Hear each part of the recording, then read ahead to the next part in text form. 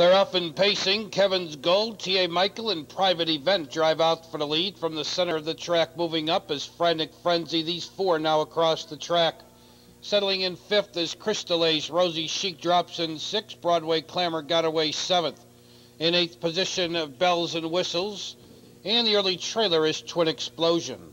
They move into the stretch for the first time, and Private Events opened up a three and a half length advantage, and he goes by the opening quarter in 28 and 2.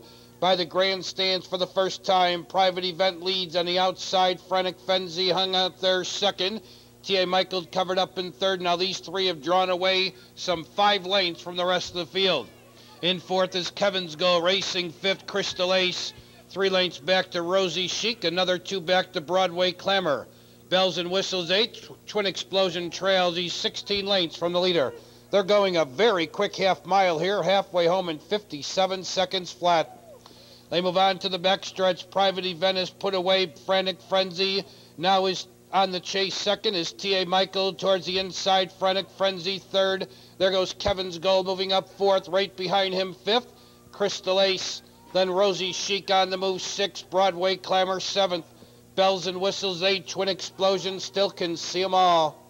And around the far turn, Private Event holds firm by three quarters and 126 and four.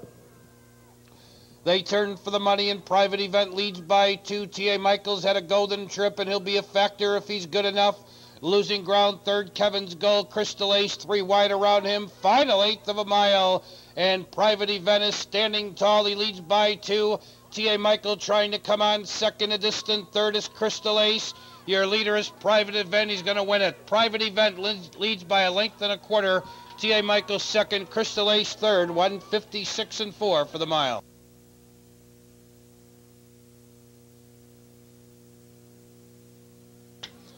In Balmoral's seventh race, three Private Event is your unofficial winner. Two T.A. Michael finished second.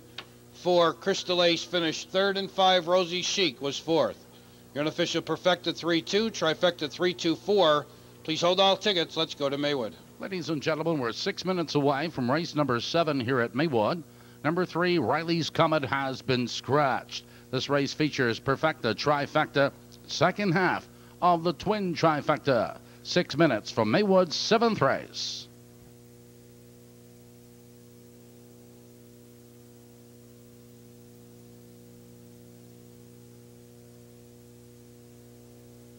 Tonight's seventh race is official, going into the winner's circle three private event. Private event is owned by the Avant-Garde Stables, trained by Bob Shermack, Sam Widger, the winning driver.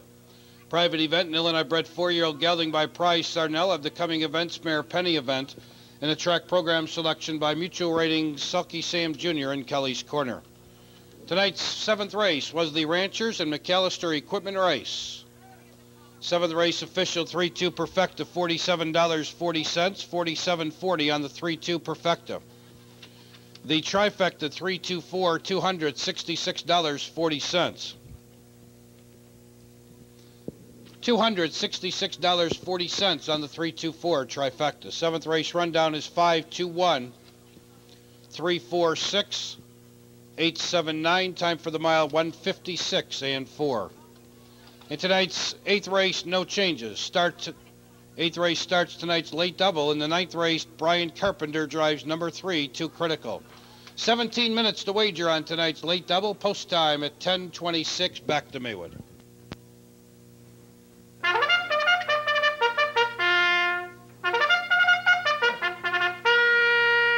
Ladies and gentlemen, horses are coming out for this, the seventh race here at Maywood.